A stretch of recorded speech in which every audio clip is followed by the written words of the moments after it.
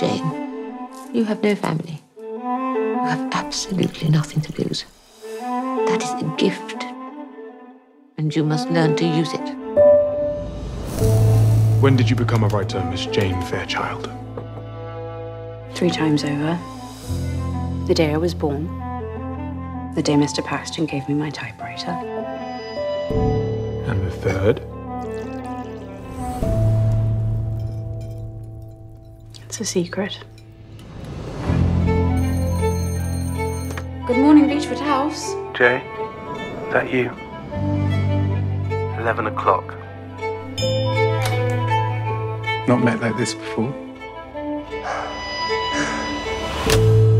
Who was that, Jay? Wrong number, sir. On a Sunday? Good heavens. He's always late.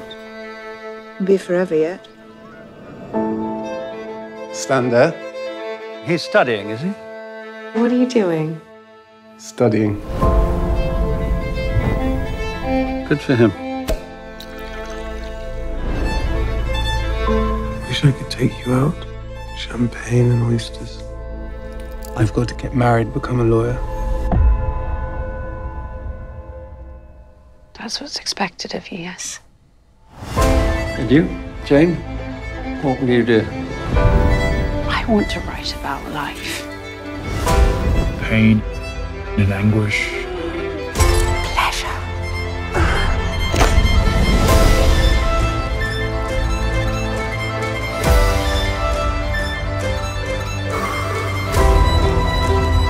You can summon the memory.